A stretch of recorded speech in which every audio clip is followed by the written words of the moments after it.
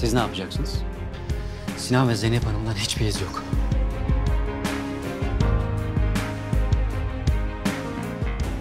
Bak, Zeynep'in nerede olduğunu gerçekten bilmiyorum. Silah patlamasıyla beraber bunu yapabilir misiniz? Yani birine başka ilaç, birine başka ilaç verilir mi? Bu saçmalık değil mi?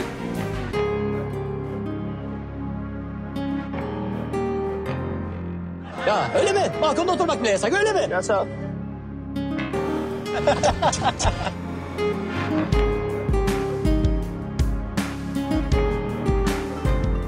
Bak Cemal amca. Öncelikle şunu bilmeni istiyorum ki tıp her gün biraz daha gelişiyor.